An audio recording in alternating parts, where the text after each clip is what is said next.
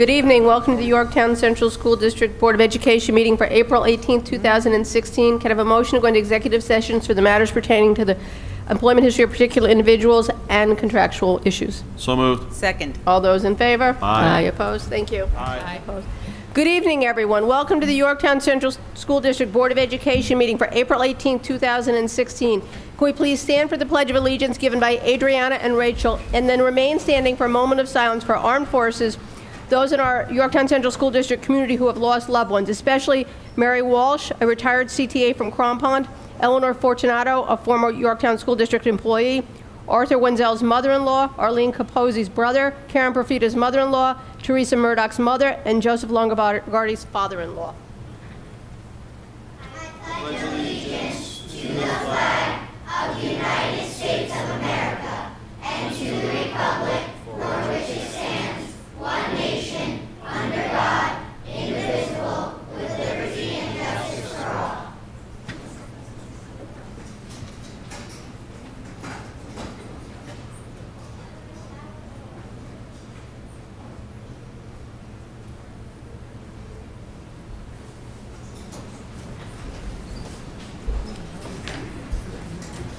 Thank you all for waiting for us. We're sorry we were later. Um, We have Crompond visiting us We today. do. Good evening, everyone, and welcome, and thank you so much for being here. We're so excited to see the children, and they've already told me that not only am I going to have good news, I'm going to have a song and a treat. So that it was the treat that caught my attention. Everything before that kind of went over my head, but as soon as there was a mention of treat, I, I got very excited. So at any rate, we're happy to see you all, boys and girls, and thank you for being here with us tonight. And Mrs. Roberts, would you like to begin?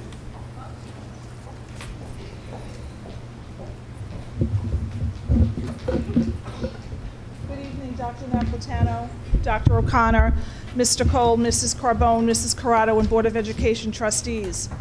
Crompond Elementary School is honored to be sharing our good news this evening. Part of the mission statement of the Yorktown Central School District is that all students are valued and can make a difference in society. Crompond School has embraced this principle by focusing on ways to help others. By others, we do not simply mean only human beings, but other species who are struggling to survive as well. Our fourth graders demonstrated their care and concern for our native birds this year by intensively studying them and, and creating feeding opportunities outside the fourth grade classrooms. Not only was this helpful to the birds, but the students were actively engaged in promoting the well being of, of a species. Our fifth grade classes have demonstrated their ability to learn about and engage in the natural world by studying the plight of Apis mellifera, also known as the honeybee. Perhaps you have heard the buzz around Crompond School this year. Honeybees, so integral to the health of the planet, are being plagued by a phenomenon known as colony collapse disorder, also called CCD. The students and staff at Crompond want to help restore the honeybee population, ensuring that pollination continues to occur, providing us all with the healthiest fruits and vegetables and the beautiful kaleidoscope of flowers we enjoy in our summer gardens. In the course of our honeybee study, a local beekeeper who has joined us this evening provided workshops for all of our fifth graders. Tonight, the classes of 5 Alessi, 5 Barber, 5 Floor, and 5 Stern will share with all of you some of the fascinating knowledge that they have acquired over the last month, embracing the principles of STEAM, which is a Board of Education goal highlighted in Dr. Napolitano's action plan. The classes explored ways in which their learning could be expressed through science, technology, engineering, art, math, and music. As Charles Cook so appropriately stated, your deepest roots are in nature, no matter who you are, where you live, or what kind of life you lead. You remain irrevocably linked with the rest of creation. It is with great pride to in- invite up Mrs. Floor.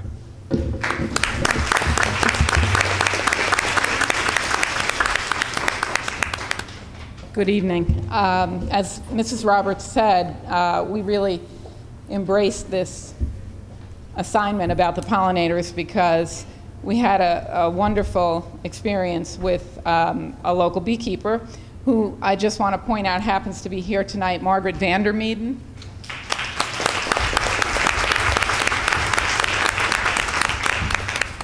Martin Luther King said, whatever affects one directly affects all directly. This is the interrelated structure of reality. At Crompond, we endeavor to have all our students become more aware of the power of their actions. Examining real life situations that require individuals to serve as agents of positive change has been part of the focus of our fifth grade year. We were fortunate enough to have our PTA provide funds for workshops with Ms. Vandermeeden. The students learned about the vital role that honeybees play in pollinating our food. Through paired research projects, the students learned about the amazing society of honeybees and how they effectively work together to provide us with the rich diversity we experience in our food systems. In the United Nations report on economics and biodiversity, Pavan Sukhdev coined this situation brilliantly when he stated, not a single honeybee has ever sent you an invoice. And that is part of the problem because most of what comes from nature is free. Because it is not invoiced, because it is not priced, because it is not traded in markets, we tend to ignore it. We hope that through the voices of our students, all of you will be moved to do what you can to help sustain these fascinating pollinators while there's still time to make a difference.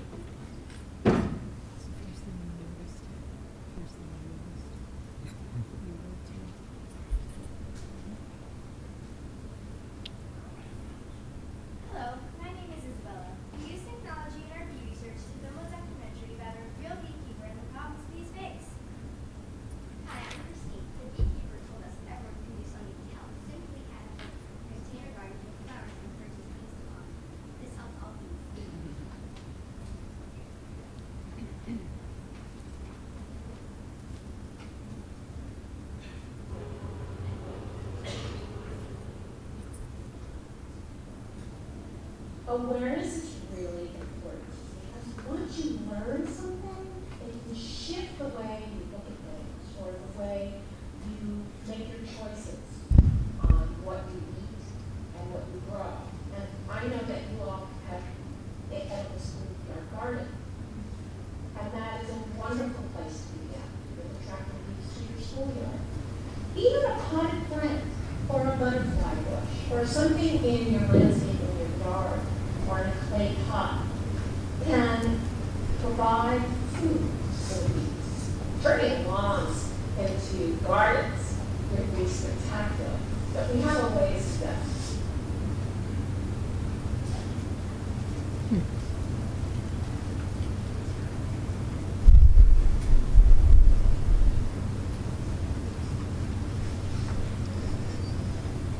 Hi, I'm Matthew.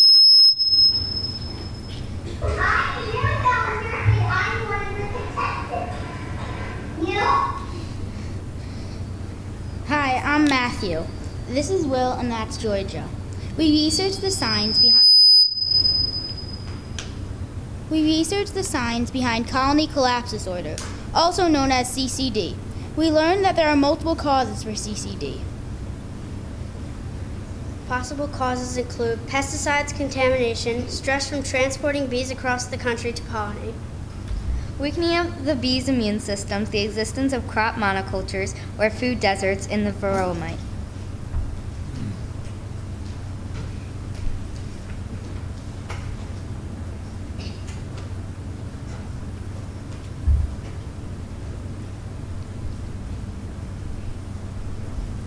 Bees choose a hexagonal shape for their honeycomb because, as Charles Darwin said, it's absolutely perfect in ec- economizing labor and wax. The hexagons fit together perfectly and store the most honey. Beeswax is a vital for, for creating and capting the hives. It is the duct tape of the ancient civilizations. It is never it never spoils and is used today for many products. It is the only natural wax on earth.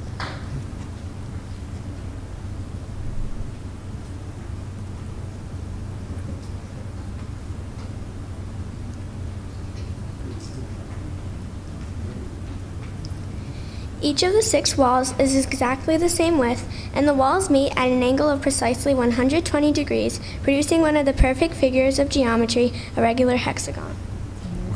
The cells are 1 80th of an inch thick and are very light, yet can support 30 times their own weight. The structure of the hexagon allows for tension when, when filled, which keeps it strong. The cells are used to store honey, nectar, and pollen to provide a nursery for bee larvae. The cells are constructed at a 13 degree angle in order to keep the honey from dripping out. Then the cells are capped with wax.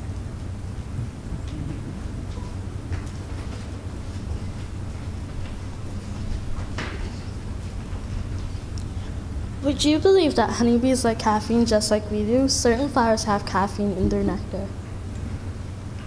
When bees extract nectar from a caffeinated flower, it makes them more active, hence the phrase busy as a bee. A bee who has ingested caffeinated nectar is more apt to get their vital work done. Caffeine also helps the bee's long term memory.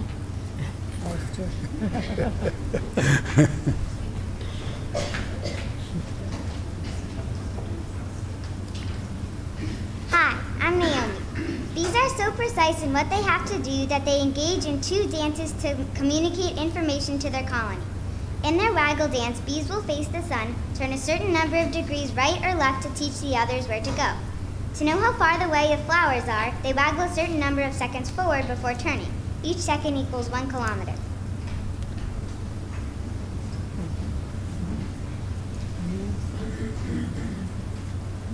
Hi, I'm Devin. Honeybees can calculate angles, direction, and distance to patches of flowers that give nectar and pollen, which is used to make honey, to water sources, or to new nest site locations. Hi, I'm Grant. The bees use the sun and the Earth's magnetic field to help, help them navigate. The bees have an inner compass, eyes that can see ultraviolet light, and they get their mathematical training by their genetic code. Hi, I'm Samson. The orientation of the dance describes the angle from the feeding source to the hive. The angle is in relation to the sun. Bees have the ability to see ultraviolet and polarized light and can determine the location of the sun at all times, even on cloudy days. The duration of the dance communicates how far away the source is. Hi, I'm Bada.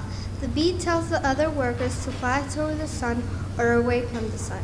The number of runs in a given time indicates distance to, to the food source. Hi, I'm Mitchell. The angle at which the bee runs gives the angle of the food source related to the hive in the sun.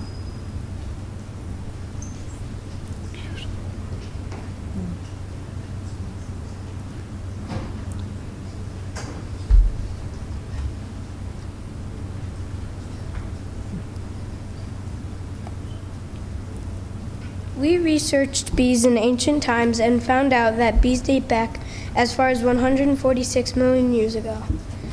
Hieroglyphics exist that show early beekeepers tending to their hives. Honey is found in tombs in Egypt, could still be consumed today because it does not spoil. Hmm.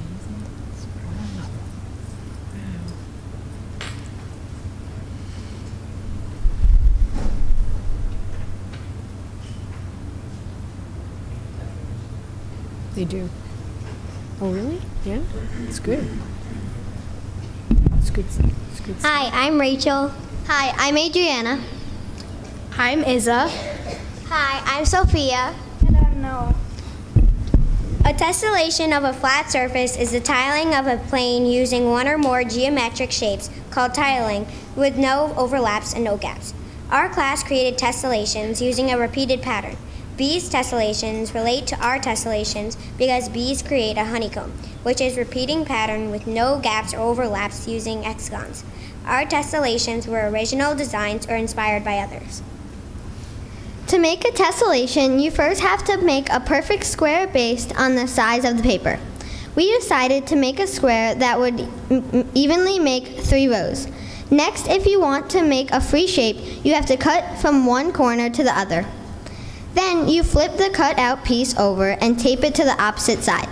It should look the same on the other on each side just facing the other way.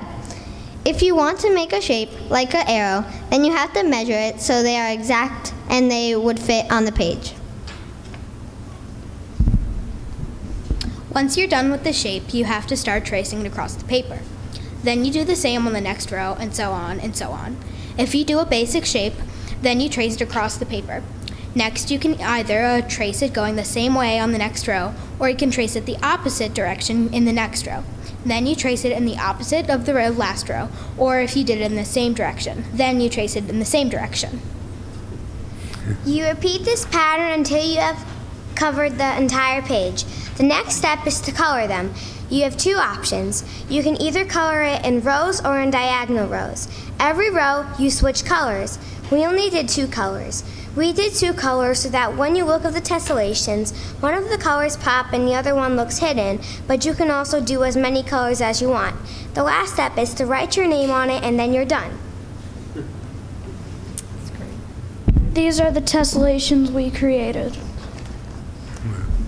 Very nice. Very nice. Very nice. Great job.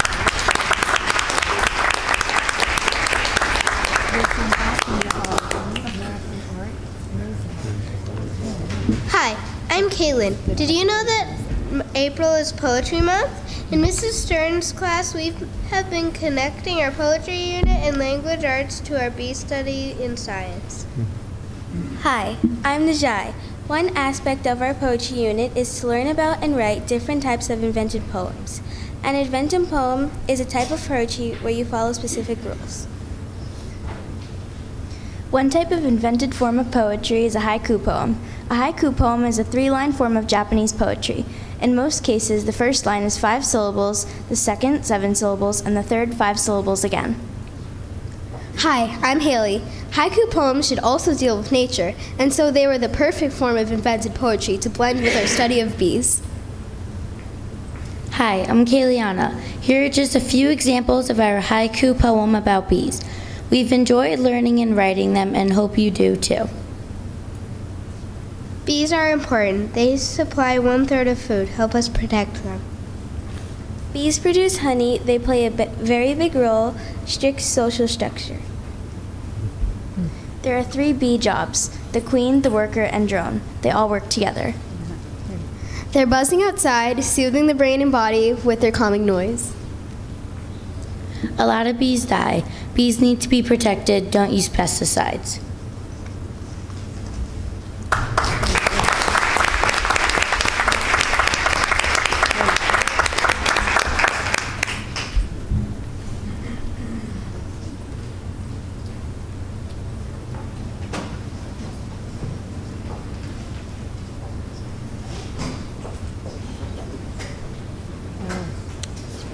That's a good one. Let's see that one. Hi, my name is Kevin. Through pollination, bees are responsible for one third of our total food production. Without bees, the following crops would be impacted and the food chain greatly affected. Hi, I'm Isabella. Almonds, um, 100% of almond crops are pollinated by honeybees. The holes are used as feed for farm cattle and chickens. Hi, I'm Gabby. The loss of bees would result in complete loss of almonds, which are eaten directly by humans and also utilized in livestock feed. Hi, I'm Emily, and I'm going to talk about fruits and vegetables. Did you know that 90% or 9 tenths of apples, cherries, cranberries, blueberries, tangerines, oranges, and grapefruits are dependent upon honeybee pollinations? Other crops affected would be green beans, pumpkins, pears, plums, avocados, cantaloupes, cucumbers, honeydew, kiwi, watermelons, sunflowers, squash, broccoli, onions, carrots, and the list goes on. Hi, I'm Adelina. More than 80% or four fifths of worldwide bees perform more than 80% or four fifths of worldwide pollination. Without bees, we would all be living in a, in a completely different world. The availability of food and other goods would be greatly diminished, with some food supplies no longer available. This would mean that the nutrient and diet throughout the world would be poor. Also, as we have learned in economics, as the supply of food and goods decrease because of the loss of the honeybee, the demand would increase, which would make the prices go up This would cause a worldwide economic strain as bees are presently responsible for about $200 billion in global agriculture revenue. As long as one has a garden, one has a future. As long as one has a future, one is alive. Frances Hodgson Burnett. Excellent.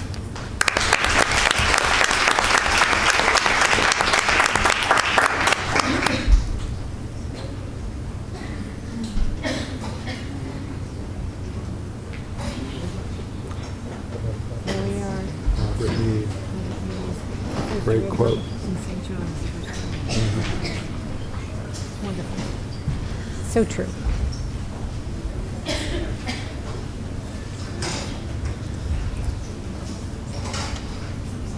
Historical bridge.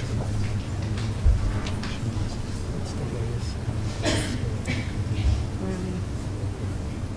Little flower or something, yeah. Um, You read Kevin? And you went to a gathering? How nice, wow. Yeah, it's amazing, right? Oh, I'll have to look. Yeah, great. They have little cups on the floor, you see. Of course, you know we have to have a song. So, um, this is actually the cup song, but um, Great. Mrs. Floor, I'll give you the credit for writing, rewriting the words to make it appropriate for our struggle to keep the bees alive, right? So let's um, get the music started, and they're gonna share their song. Wonderful.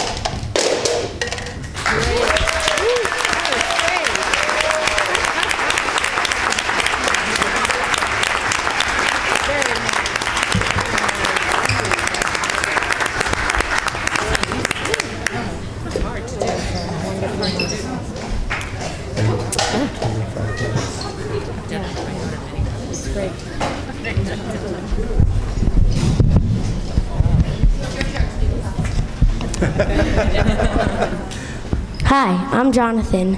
We have a special gift for each of you that we hope that we hope you will help you remember to help the honeybees.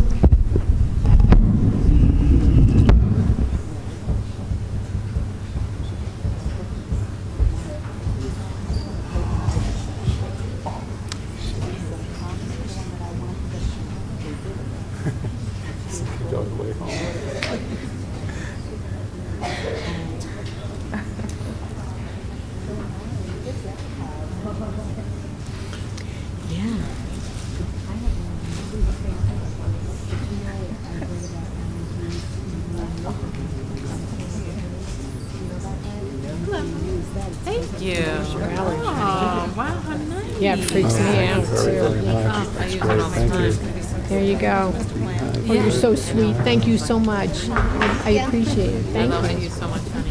Yeah, yeah. My- my Beautiful. tea and my Black-eyed salad Susans, I love these. Wow, these are great. How sweet. That's really lovely. Very nice. Yes. Wow. Lovely, yeah. You can just give her two more. She'll give them. Thank you so much. Thank you. Say something, Joy. Oh, Mrs. Roberts going to say something. Aren't they amazing? Oh, yeah. Let's give them all another round of applause. So we have some signs here in the, in the section, Save the Bees. And I have to say, boys and girls, I am certainly going to miss you all when you're gone and you're coming here to the middle school. You really are fabulous, so we are going to miss you. Um, Thank you to our staff. If our staff could all stand and be recognized for those who joined us this evening, that'd be wonderful. Had a lot of fourth grade teachers joining us this evening as well. So thank you. And of course, our students and families, thank you so much for making time to join us this evening. I hope you're as proud as them. I know you're as proud as them as we are. So in closing, in the words of George Santayana, the earth has its music for those who will listen. Have a beautiful evening. Thank you.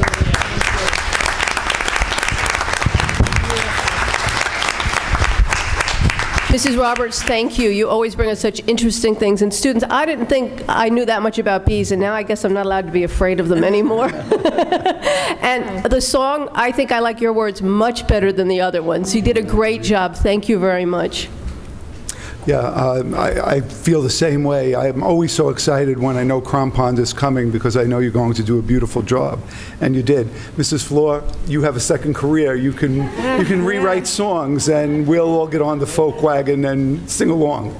Uh, I do appreciate the treat so much, children, but more importantly, I appreciate all the information that you brought us about bees, how important they are to our environment, and how our obligation to uh, make it a point to ensure that they're here for generations to come. I think that's always the important message that's a takeaway for me, is that um, we really do uh, have to be conscientious about our world, our earth, taking good care of it so that all of us will have an opportunity and someday your own children will have an opportunity to benefit from all of the things that you benefited from.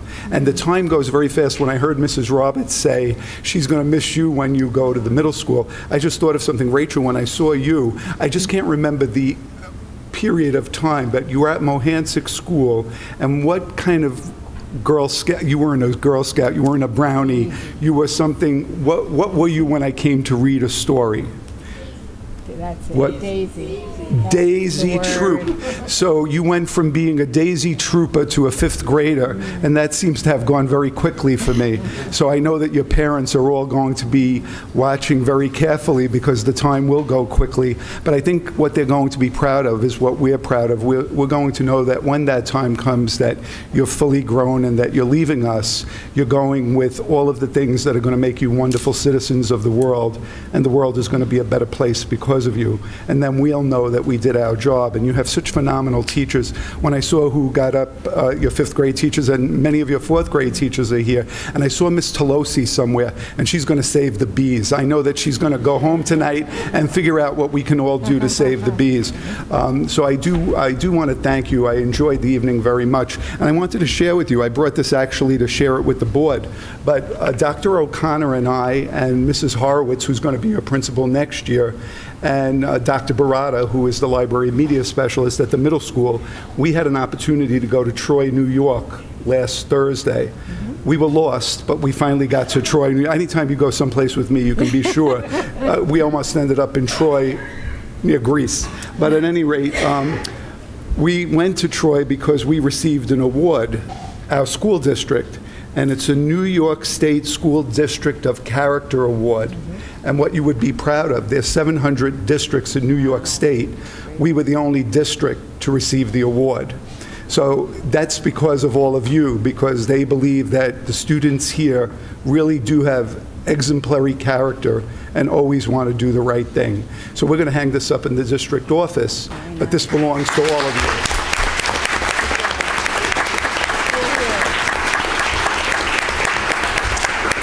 So thank you all for coming. We're going to take a five-minute break so we can say good evening to you, and then we'll continue with the board meeting. Thank you so much. It was awesome. Really nice. Thank you. They do a great job. We are up to public comment. Anybody wishing to speak? Rashmi?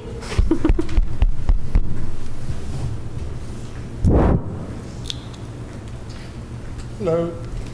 Hi, good evening. I'm a little taller. Okay. Well, on behalf of the Foundation for Excellence, I just wanted to uh, say thank you uh, to all of you and to our community members for coming out and supporting the event. We had several attendees uh, from the Board of Ed, uh, Mrs. uh, uh, Reynolds, Mrs. Corrado, Mr. Miniani. So we do want to say thank you. It was a great event. Um, we did very well in the silent auction as well as a number of attendees. We honored our five principals, and it was just a great night. Thank you again. Thank you. Thank you for hosting it. Thank you very much. Foundation does an excellent job, and they do a lot of things to raise money for our teachers and for our students, and we're very pleased. And oftentimes, um, some of the things that the teachers actually bring to the board meetings are actually uh, sponsored from grants from the foundation, so we're much appreciative of that. Thank you, Rashmi. Well, they'll be giving out their annual grants at the end of the year, like Yes, they usually do, They right? usually do that, yep, and I, I think they're probably uh, review, they're reviewing soon the applications that have been submitted. Yep, Yeah, we're, we're very fortunate to have we are very fortunate. Okay, we are up to, anybody else wishing to speak? Okay. We are up to public, um, superintendent's report, so we're budget adoption night. Yeah, this is a very important night for us, so we're uh, excited, as the board knows and as the community has observed. uh, We spend a lot of time really working on the budget for the next school year, and it keeps getting early, as Tom explains. Um, Over the 10 years that I'm here, I can tell you that every year, it's a little bit sooner that we start working on it. We're no longer into the new school year and uh, we're we're busily engaged in uh, what we're going to need and how we're going to fund what we need uh, so that our students continue to have a great education. And as the board saw tonight, this is the way kids should be learning. I wish this is the way I had learned in elementary school, an interdisciplinary approach to everything that they learn about, which includes music, art, English language arts, science, technology, math, a conservation, character education. So when you kind of see all of that put together in one, you know, one unit, it's, it's a wonderful thing. And to note that every fifth grader in the, you know, is having the same shared experience, no matter which teacher they have, I, I just think that's incredible. And I thank all of you for supporting um, the STEAM initiative that has taken place uh, last year and more specifically and more particularly this year. But anyway, the budget season finally for us, all that hard work is over. All the presentations are behind us, and I, I just like Tom to um, speak a little bit about um, one or two things that have come our way that we want to share with the board and then continue with the adoption. Thanks, Dr. Napolitano. Uh, Since we last presented the budget, uh, the superintendent presented the budget to the board, um, we have had uh, about 15 students in special education that may require outplacements next year that we did not budget for originally. So we're looking at this time to ask you, before you adopt the budget, to add an additional $400,000 to special education uh, in the outplacement categories, the general outplacement category, until those uh, assignments are definitively known. We're not asking you to increase the tax rate. We'd, uh, uh, to comply with the tax cap, we would ask that you uh, add an additional $400,000 from revenue to offset it so that there's no tax levy impact to taxpayers. Tom, what is, what is the anticipated tax rate? The tax rate increase in the largest uh, municipality, which is Yorktown, is uh, 0.26%, so just over one quarter of 1%. And just so the public's aware, what was our um, maximum tax cap? Point 0.32%, So we almost maxed it out. yes. And what is that .26 equates to what is the budget dollar increase? budget to The- The budget? budget-to-budget increase is uh, one half of 1%, and it is $505,000, which is um, $18,000 greater than the prior year change. And that includes the $400,000? It does. Okay. Anybody have any questions, any comments? Mike? Well, I guess, Tom, one of the things that we, sh- you know, discuss is what, what other options would be available to the, to the board aside from increasing the budget? The only other increase would be to ask us to manage the $400,000 in the context of next year's budget. A, it's a large number, but that would be an option. Um, Or to try to uh, cut an additional $400,000 out of the current budget to offset it. Those are the only two options you have. I've explored every particular option that we can, run a few of the scenarios by the auditors, Uh, so those are the only viable options that you have. Okay. Anthony? And just, again, that's not increasing the tax rate at all. No, the tax rate won't change, Uh, the- but the budget will increase from uh, a one-tenth of 1% increase to a uh, five-tenths of 1% increase. But this money is going to go directly to students. It's, it's for use for students, it's not for anything else, it's going for education. Absolutely. We have a requirement through special education to, uh, fu- to provide the most appropriate setting, and these, uh, these uh, 15 cases that have come up, uh, there does not appear to be an alternative that we can service in-house. Since um, Mrs. O'Shea took over as a director of special education, she has significantly decreased the budget. This is an anomaly this year. She is normally going down every year. Is that correct? She's managed her department extremely well, has she not? She has effectively controlled the cost of the department so that this year, this year's level of expenditures roughly $2 million lower than it was five years ago. Okay. It's just a phenomenal, phenomenally efficient department that she supervises.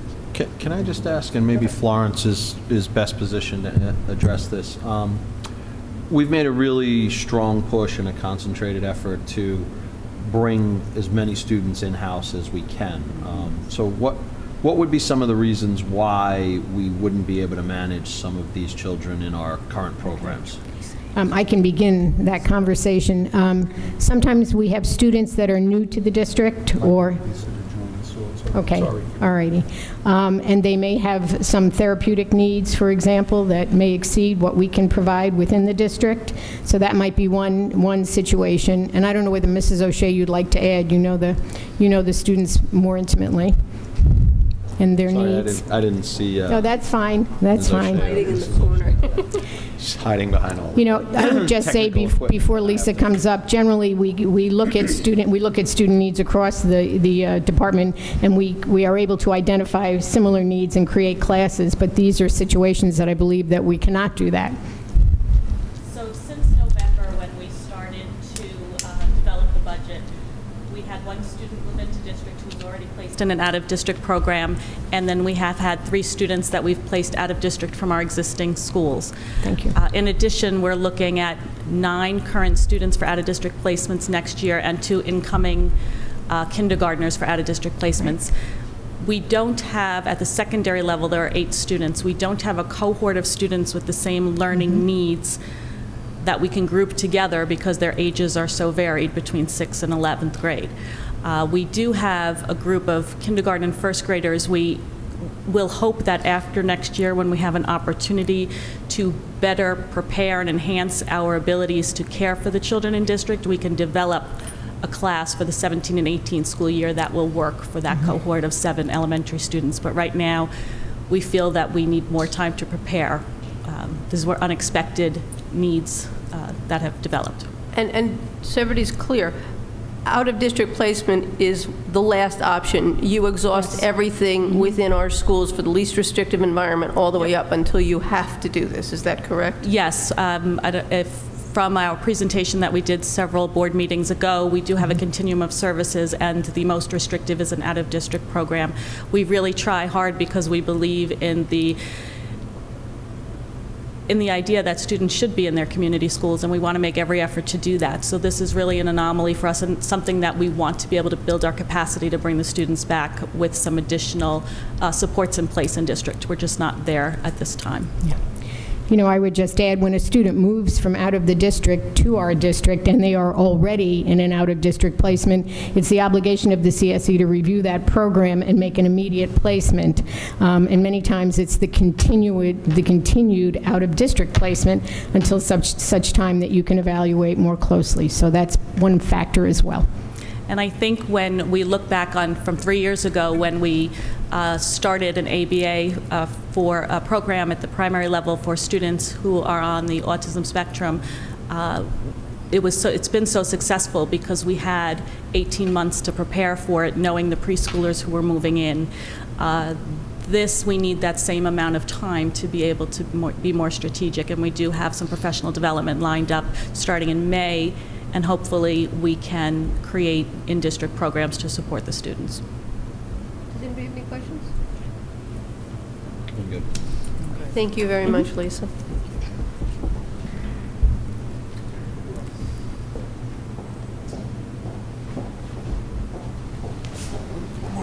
Anthony, any more questions? No, I'm good. All right. Um, So, Tom, what are the budget numbers? What's the budget? The budget for 2016-17 is 98,010, 98 million and $10,000. Wait, 98 million and $10,000. Right. Okay. The projected tax rate increase is .26% Okay, In the town of Yorktown, right? in the town of Yorktown? Yorktown. Mm-hmm. Okay. Anything else? No. We good, guys? Okay. Then resolved upon recommendation of the superintendent of schools, the Board of Education adopts a proposed budget for the 2016-17 school year in the total amount of $78,010,000 and the set amount... 98. 98. $98,010,000 and the set amount of $98,010,000 to be proposed to the district's voters on May 17, 2016. So moved. Second. All those in favor? Aye. Opposed? Guys, thank you very much. I know this is a tough budget Thank season. you. Thank you. We are up to our tax report card. So whereas the New York State Education Law requires the district to prepare and approve and make publicly available the 2016-17 property tax report card, therefore resolved that the Board of Education of the Yorktown Central School District approves the 16-17 property tax report card and authorizes the superintendent to publish it in accordance with law. So moved. All those in favor? Aye. Opposed? Okay. We're up to the education report. Okay, thank you, Jackie. Good evening, everyone. Um, I- Yvette, if you could put up our outline. There are several items on the education report this evening, and the first one uh, has to do with several of our staff members. We're very proud that three of our staff members presented, uh, did technology presentations at the Lower Hudson Regional Information Center Technology Expo that took- place on April 8th. Uh, Adele Kivel, who's a a teacher at Crompond School, and David Lease presented a workshop entitled Empowering Student Learning Through Classroom Assessment.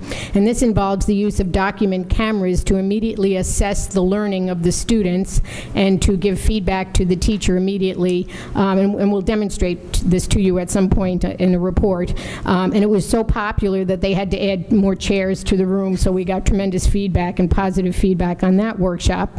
And Amanda Burns, who works in our technology department, also presented Getting Creative with Google Docs, which again was a very packed workshop, and the feedback uh, was just tremendous. We've received emails from staff in other districts uh, wanting to come and visit to see some of the work that we're doing in the district. I just would mention that this is the same expo where the district was awarded the Pioneer Achievement Award several years ago for our work in technology. So we continue to be leaders in the region, and we're very proud of the work of our teachers, our principals, our staff, and certainly our students. Uh, The second item is we have a couple of nice trainings that are going on this month in the district. Um, We continue to train our teachers, this time it will be our kindergarten through ninth grade teachers, on the use of the STAR online assessment. You'll recall this is an online ELA and math assessment that the students um, are administered three times a year. They're computer-based tests, and they're for growth in learning. And we continue to be impressed with the data and the resources that are available with the STAR assessment. We'll be pushing that assessment up to the ninth grade next year.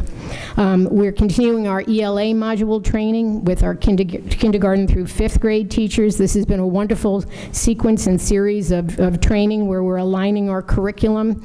Um, I hope that we have the opportunity pr- to present this at the board meeting. We've, we've developed a sequence of instruction that begins with nursery rhymes and moves to fables, and then the students read nonfiction and, and then read social justice items in fourth and fifth grade. So it's a wonderful sequence, and our teachers are embracing it, and we're becoming experts in this instruction. Uh, there's math training this month with grade one in particular as they integrate the modules and the, um, cha- the change in curriculum. At the high school, our world language teachers just finished a pretty exciting day with Greg Duncan, who's a world language expert that works, he actually works all over the world, and he's developing high interest, helping our teachers to develop high interest units. It actually, the units begin in the middle school and then continue in the high school, so we're aligning and sequencing our instruction there. Um, Our teachers at the high school have been, the Algebra 2 teachers in particular, have been focusing on statistics training, and we're so talented internally that one of our teachers has been able to lead the training in statistics, and this is about 40% of the Algebra 2 region, so we've been working in that area. And then finally, as the uh, finale of the education report, I did want to share some, uh, some data related to uh, ELA and math assessment. So I think we'll do ELA first. Um, Yvette? Okay, before you, you see a chart, and it's a two-year comparison of our, actually, our, our participation and our test refusals from 2014 to 2016. You'll see, if you, if you begin in the first column, the total enrollment in 2014-15 was 15 1,546 students. This is in grades 3 through 8, and the enrollment is not significantly different. It's a little larger in grades in uh, year 15-16. But if you go to the bottom, the very bottom, the, um, the percent of refusals, our test refusals in 14, 15, were at 27.5% in grades 3 through 8, and they, they increased just slightly in the 15, 16 school, school year where we had 31.9% of our students requesting refusal, their parents requesting refusal of the assessments. In looking at this closely over the last several weeks, there are implications that we did want to share with the board and share with the public. These are implications that the Lower Hudson Regional Information Center has been working with the State Ed Department to look at what, what are the outcomes of these refusals. And there are three significant areas that I wanted to share with you.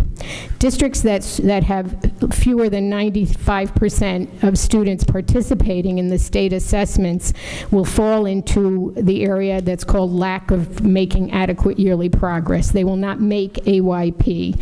And AYP has been on New York State report cards for years, and one of the criteria is that 95% of students participate.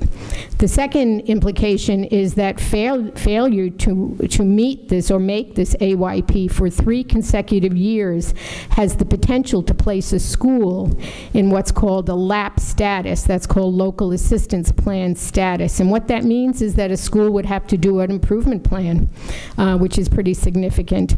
And then the third implication that is that when you are a LAP status, if your school is a LAP status, it is publicly announced and it requires the district, as I had said, to develop a plan um, and post it on the district website.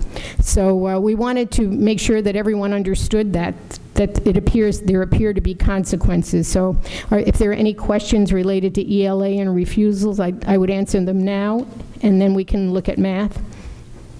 Anybody have questions? I I have, I have one. If we're, a- become a LAP school, a school becomes a LAP school because of the lack of students taking the test, mm-hmm. which is, we have no control over, how do you come up with a plan, because you can't force people to take a test if they've been talked out of taking the test? Having done improvement plans for special education in my prior experience, it would be parent education. We would be, um, we would have to develop a plan where we further educate parents and students as to the requirement. That, that's the only thing I can think of in terms of what the plan might look like at this point. But we would look for guidance from the state, certainly, uh, for what they would require in such a plan. Okay. We, we won't be alone. No, we uh, won't I be alone. And I would just ask us to quickly take a look at mathematics over two years, and the- this, these are the data in mathematics, and I'll bring you just down to the last line. The percentage of refusals in 2014-15 was at 31.9%, and in 15-16 at 32.7. So there's not a, a significant difference, but we believe it's significant that 30, a third of our students are not participating in the state assessments. And again, the implications are the same with mathematics. Any questions? Did you guys have a chance to look at the tests as they came through? Have- Has anybody looked at the assessments? Um, As we're allowed to, we have, yeah. And Mhm. or was there a significant difference in what the state had promised they were going to be? You know, Jackie, I I guess I- I'm not prepared to answer that Okay. right now, All but we could, we could do that potentially in the future. Okay. When, you know, the items will be released, and we certainly, when they're released, we'll be able to um, take a look more closely, and I suspect they'll be released pretty soon. All right. And and statewide, this was about the same rate that everybody had? People weren't? You know, I'm seeing 20% and a little greater than 20% in articles that I've read statewide, so we tend to, to be a little higher. Oh, this area is, Mhm. okay. All right. Mhm. Thank you. Anybody have questions? No, all right. We're up to board reports. Um, Audit Committee, Christine, I'm going to look to you. Right, there's nothing new to report at this time. Okay. Fiscal Advisory? Um, Really nothing new at this point. We are um, going to meet again in the next uh, 10 days to two weeks. Uh, We have, we're working on scheduling that. Um, Busy time of the year, a lot of people's calendars are full, uh, but we do have some things to discuss uh, when we get there. Okay. Uh, Policy, Karen is not here tonight. I'm sure she's moving along on policy? Okay. And steering, um, we had a pre-bid meeting for the large part of our last project last week. I don't know how that went. We'll know tomorrow at our uh, steering committee meeting. We're gearing up for the two summer projects, the tennis courts and the electrical line, which has actually already started. It goes out to the field, and we'll just, we're still in limbo as to what we're going to do about the other summer projects. And that's about it for that. All right, we're up to board action items. A motion to accept the board minutes for the March 14th and the March 28th, 2016 meetings. So move. Second. All those in favor? Aye. Opposed? Uh, Treasurer's report, a motion to accept the treasurer's report from March 2016. So moved. Second. All those in favor? Aye. opposed? Um, Extra classroom activity report, a motion to accept the extra classroom activity report from March 2016. So moved. Second. All those in favor? Aye. Opposed? The board meeting calendar. So I think there's got to be a little discussion before we have a motion to, and that is, um, we have to talk about this BOCES meeting date. Now, is that the BOCES, do we know what date that meeting is? What date is it?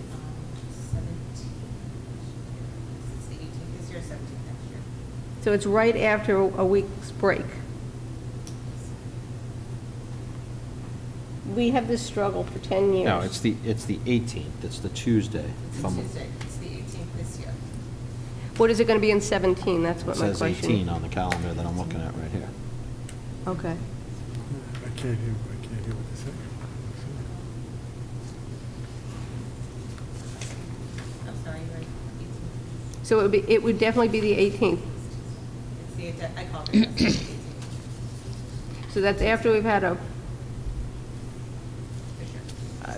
guidance, guys, I don't know what to do. You don't Who want- schedules that? Yeah. BOCES, it's, that's BOCES' date, they schedule it. I mean, I wish BOCES would say you had to, every district had to do it within the same week as opposed to on the same day. How many day. districts are involved in that vote? 17. So they have to generically pick a day. Hmm? I mean, just, we'll do the best we Do can. do we want to do, but what, my question, I guess, is, do we just want to have a board meeting on that day and be done with it? Or do we want to just try and have a special meeting in the morning like we always do. Special meeting. Meeting. Every year's different. You want another board meeting? No, it's not another board meeting instead. Instead of having the oh, Monday meeting, we'd have it to Tuesday. Flip it. Yeah, Yeah. that's right. Oh, that might be a good That idea. works, that'll work. Because this way it'll save you a morning out. That's probably better. No preference? It's six of one, takes half a dozen of the other. Well, my only, my only concern with doing it that way is that we have spring recess right before, so we would, setting the agenda is difficult when we have a week off. But, you know, we can make it work. So we would have, our meetings would be the 3rd of April and the sev- 18th of April. We wouldn't have one on the 24th. You'd hold that for a retreat in case we needed it? So, I don't- why don't we just come in early and do the, like we're doing tomorrow? We It's can do easier, that. because Do you our, don't, not do our gonna- regular meeting on the 24th then? yeah, because you're not, gonna- the agenda isn't gonna be ready. You're gonna have a, a day to put the agenda together? No, we Kind would of do it, we agenda would is do that gonna it, look we'd like? do it the Thursday before we left for break. Uh, It's a useless agenda. I mean, why don't you just, we'll go early, and then we'll keep it the 24th, and you'll have a real meeting. I think, that's just my opinion, but I'll go with the flow here. I, I don't have a problem either way. I just find that we get to Okay, so this then let's Tuesday just- morning date, and it, we're struggling to find four people because everybody works. I mean, it's very hard for people to get together, and it becomes very difficult. Um, I Well, we I dumped it on struggle for Yvette that. this year. So I, I just, I just would like to settle it and know what we're going to do. We, we've consistently tried to not have meetings other than Monday, I know. so. Right, that's, But we are required to have this BOCES vote. and we do every year. And we show up reluctantly, but we do. This has to So be decided let- tonight, why Jack. change now? If, if we adopt the calendar, we should decide it tonight. I mean, let's just do it like we do it every year, and just go in there and give it our best. So Monday and Tuesday. It didn't fail us yet. Fine with me. So what are we saying the meeting dates are, Anthony? 8:15, April 18, 2017, be there. Huh? And the 24th. He's saying in the morning of- on a Tuesday, April 18th. Okay, so we're going to have our, our board meetings will be the 3rd and the 24th? So we're doing, Tuesday's the BOCES, that's the April 18th. Right. And then the, the Board of Education meeting will be April 24th. Right, yes. It's almost similar to what we're doing tomorrow, we're going for BOCES, right? right? Same thing. Yeah, you don't have to set that meeting, so you don't have the struggle of trying to, you know, herd everybody together and make sure you have a quorum. No, quorum. That's the problem. Exactly, that's why I'm saying, let's go in the morning, the 18th, and then you don't have to struggle. Am I crazy here? Let's do the meeting the 24th. Okay. Okay, Right? that's fine. So now you don't have to struggle. Because it's on your calendar and you're going to be there. Am I there tomorrow? Right then, was I there last year? Okay. And 11 years ago? I've been there for a And I think worst time. case scenario, we can always find a way to make it, even if I'm five or 10 mm-hmm. minutes late to a Val Sal breakfast or what have you, I can FaceTime. I think we always find a way to make sure that there's a quorum is what I'm trying to get to. I would like a copy of this tape. And we're going to use it next year. for Against to set the Christine. Meeting date, She okay? said- You It is remember what it this. I don't want the minutes, I want the video. Sent an email, said we do not have a quorum, someone is going to step up. We always do here. All right. Notice Mike is very quiet. Yeah, I noticed, Mike. All right, are we okay with the board meeting dates? Guess. Everybody's good with them? Trying to- Yes. What are the, what are the green? That is, uh, Here. Yorktown Central School District days. No Days off. students, right, that's days. That's, that's great. No, no, no, the, the dates that are yellow but The green, colored not ones, red. right. The light green is when school is closed, and the dark green is mixed students. Nope. Which ones are you The- looking at? I'm looking at like October 24th, January 23rd, March 27th. What are those dates? Are they board meetings? 'Cause You they're all asking on me or Monday. telling me? They look like they're board Red BOE dates, blue tentative retreats, is that supposed to be Yes. blue? Blue and yellow makes green? Yes. Ah, there you go. when I did the uh, scan. So we're hold, we're, we're holding dates for You- You retreats. highlighted blue uh, with yellow, so now it's green. Where do you have the retreats now? October 24th is the retreat? Is that what you're October saying? 24th, January 23rd, March 27th. So those are the Discussion. retreat, tentative retreat dates? Correct. Yes. Okay.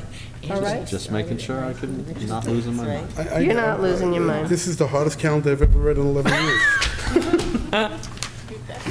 You did a really good job, Yvette. Don't take- Don't take it personally, that it looks very colorful. It's it's the prettiest calendar I've ever read, though. It's got an I love it, too. interdisciplinary twist. Yeah, it works. It's Works. mathematical, it's autistic. I'm not sure these, these retreat dates will work, but that's mm. okay. All right, so what do you They wanna could become change them? meeting- No, they're tentative. I'm just, like, March 27th, and that, that's usually a really busy time of the year. I'm not sure we're gonna grab a retreat there, but okay. It's mm-hmm. fine. If we don't, we'll, we'll Well, I, it I, somewhere the else. the other thought was it it might be needed for budget at that point, too. You never knew. Yeah, it's fine. That, that's what I mean. It's a We can work in always- We progress. can Well, always. you could just block off every single can- Monday. I, that's what I do anyway, so. All right. That's why I don't like when you start moving not things to elected. Tuesday. All right, are we good? Yes. Yep. Good. Okay. When's the year go on? Can I have a motion to accept the 2016-17 Yorktown School District Board of Education meeting calendar? So And- moved. Second. Thank you. All those in favor? I'm getting there. It's tiring today. All right, personnel. It's weird that I have to look at this anymore. Upon recommendation of the superintendent, a motion that the following be approved. We have um, certified personnel, we have part-time and temporary appointments, we have regular substitute appointments, we have an amendment of an appointment, we have other compensation, we have co-curricular and coaches, a leave of absences, and we have classified per- personnel, we have permanent appointments, seasonal appointments, and a resignation. So moved. Second. All those in favor? Aye. Opposed? Okay. We are up to creation and elimination of job titles. Be re- be it resolved that the Board of Education does hereby approve the creation of a 1.0 Assistant Superintendent of Curriculum and Instruction and a 1.0 FTE E, Director of Student and Staff Evaluation Data effective April 19, 2016. These positions are subject to the New York State Education Department guidelines. Be it further resolved that the Board of Education does hereby approve the elimination of the 1.0 FTE E Deputy Superintendent position effective September 1st, 2016. So moved. Second. All those in favor? Aye. opposed, okay. We have a ratification of the Yorktown CSEA Custodial Unit 9249-01 MOA, whereas the negotiating team for the Yorktown Central School District and the Yorktown CSEA Custodial Unit executed a memorandum of agreement dated March 1st, 2016, for a four-year successor collectively negotiated agreement to that one that expired on June 30th, 2019. That didn't expire, yeah. 15. It- Yeah, you got to change it. Yvette, the date is wrong. It Expired on uh, 2015, not 19. Um, And for the rest of it, um, can I have a motion? So moved. Second. Second. All those in favor? Aye. Opposed? Business office. Um, a Motion to re- rescind the uh, Student Assistant Services Agreement previously approved at the February 22nd, 2016 board meeting in the amount of $14,220 for the 15-16 school year. So moved. Second. All those in favor? Aye. Opposed? And the revised agreement resolved upon the recommendation of the Board of Education hereby authorizes the superintendent of schools to execute an agreement with Student Assistance Services for comprehensive educational pre- prevention and intervention services in the amount of $18,900 for the 15-16 school year at Mildred E. Strang Middle School. So moved. Second. All those in favor? Aye. Opposed? Budget transfers, a motion to approve the following budget transfers. So moved. Second. All those in favor? Aye. Opposed? RJT indemnity, um, a motion to approve the attached RJT indemnity agreement. So moved. Second. Um, Discussion, this is just for that um, It's for the- vehicle? The vehicle they bring before the uh, end of the school year each year. Okay. All those in favor? Aye. Aye. Opposed? Health and Welfare Services, resolved upon recommendation of superintendent, the Board of Education um, execute, authorizes the Board of Education to execute contracts for health and welfare services provided to students who reside in other districts but are attending non-public schools in the Yorktown Central School District during the 15-16 school year. Sample contract is attached. So moved. Second. All those in favor? Aye. Aye. Opposed? Health and Welfare, a motion to approve the contract for health and welfare services provided to resident pupils attending non-public schools in other districts, and the districts are listed. So moved. Second. All those in favor? Aye. Opposed? A cleaning service vendor, a motion to appoint Building Stars of New York as the district's cleaning service vendor commencing May 1st, 2016 through April 30th, 2017, at a cost of $1,395 to maintain, I'm assuming that's per month, to maintain common internal building areas at the French Hill School and include contingency costs for any slash all annual, additional annual services, stripping and waxing of floors, as identified by the owner and agreed upon cost proposal. So moved. Second. All those in favor? Aye. Opposed? All in favor. Tax cert. Motion to approve the following tax cert resolution by the order of the Supreme Court of the State of New York held in and for the County of Westchester on the 5th day of April 2016. A school tax refund in the amount of $191,924.47 is due to Taconic Corporate Park LLC for the years 2010 through 13. So moved. Second. All those in favor? Aye. Opposed? Special education plan. A motion to approve the attached special education district plan. So moved. Second. All those in favor? Aye. Opposed? Lisa, thank you very much for doing that. Uh, Special education, a motion to arrange the following special education playma- placements as of April 18, 2016. So moved. Second. All those in favor? Aye. Opposed? Kids Express, a motion to approve the following contract increase. Kids Express Spark for after-school social skills classes, increase of two classes for a total of 11 for the 15-16 school year, increase of $2,400 total, contract not to exceed $17,400. So moved. Second. All those in favor? Aye. Opposed? Gifts, grants, and donations. Motion to accept with gratitude to the Yorktown Central School District, $4,386 from the Friends of Yorktown Ice Hockey to offset the costs for participation on the ice hockey team, $600 reimbursement from the Huskers Club for bus transportation to the JVB LAC scrimmage, uh, Mohansic School, $500 from the Mohansic PTA to fund cultural enrichment programs for Mohansic students. So moved. Second, discussion. Go ahead. Tom, don't we usually get the money for the hockey team during the season? What, what happened there? We we typically get it before the season begins. Yeah. Um, But then based on whatever additional practices or, or something they decide on, they contribute uh, above what they've already given, so. So this is a catch-up to It's like a reconciliation, Yeah, yeah. okay, Mhm. thanks. You're welcome. All those in favor? Aye. Aye. Opposed? We're up to board comment. Anthony? I just have to say, and I'm not surprised, but what a wonderful job Crompond did. Amazing kids, amazing teachers. Lori was great, so thank them when you go. Fantastic job tonight. Thank you. Christine? I agree with Anthony, and thank you all for all that you do. Yeah, Ralph, good Florence, and. Tom. Thank you very much. Christine. Thank you, Christine. Cheryl? I echo with what Anthony and Christine said. I just think Crompond did a wonderful job, and how they hit on all aspects of STEAM is just unbelievable. So they got a lot done in a day. It's really wonderful that they had the time to do all this and then to come tonight. So wonderful job. Yes. Mike? I'm good. You're good? I'm Okay.